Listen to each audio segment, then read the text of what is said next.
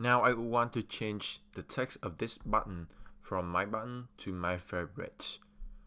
Now we will need to design 12 album covers on the view. So how are we going to do this? One quick solution may be just dragging out some image views from the object palette and trying to resize it so that we can fit 12 covers on the view. But that is a not a very good solution for several reasons. First, it would be really hard to resize it perfectly. And second, it would surely cause us some troubles later on when we have to work with a tool in Xcode called Auto Layout. That is allow us to design our UI to look great on any iPhone or even iPad screen size. So let's just work with me, okay? And I it will make sense later when we work on auto layout. One technique in auto layout is to have a anchor point, a anchor element that is relative to the main view and that we can have some other elements attached to that anchor element. It sounds weird, but let's do it. I will search for a UI view in the object palette. This is a generic view it is just like the um, blue view, blur view, but it has nothing. It is just a blank view. We will use that view as the container view for all of those album covers. So let's drag it to the view.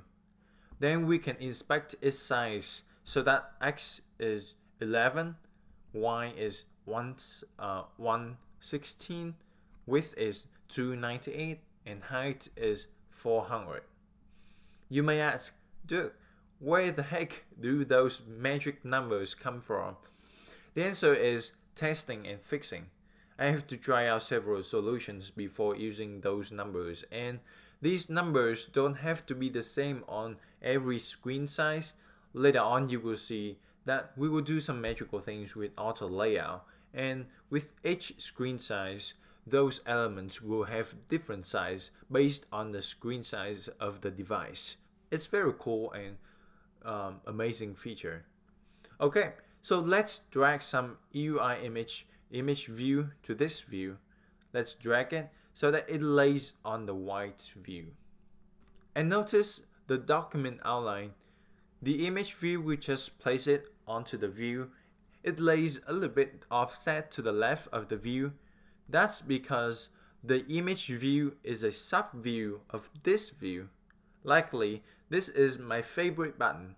Um, this is a subview of this view.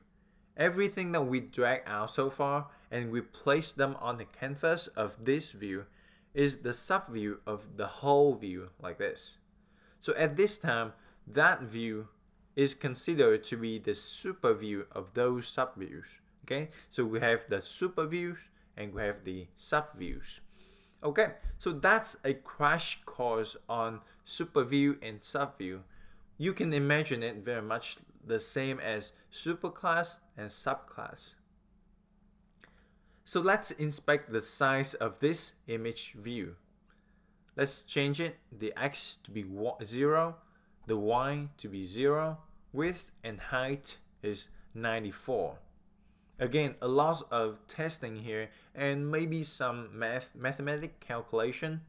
Now we can duplicate this UI image view and place it to the left, to the right, and duplicate one more.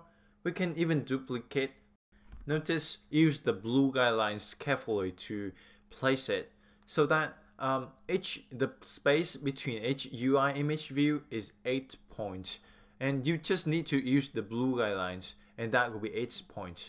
If you want to know how many space, how large is it between two elements, you can just select one and hold the option key and then uh, mouse over to the other element and that you can show how many space between them.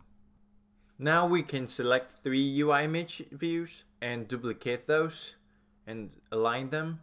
We can even duplicate six of those and align them perfectly like this.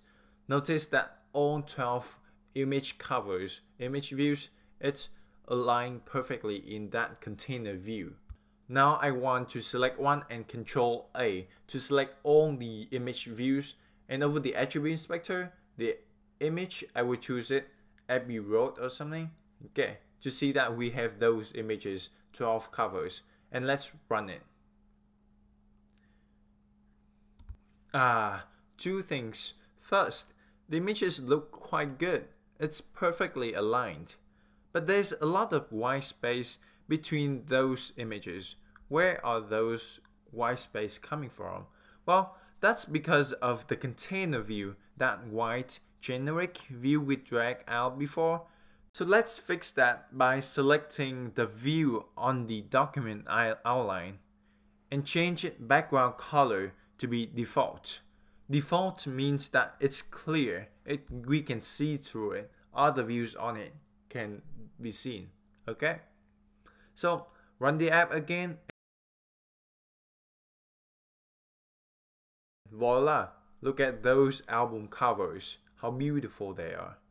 Good job everyone.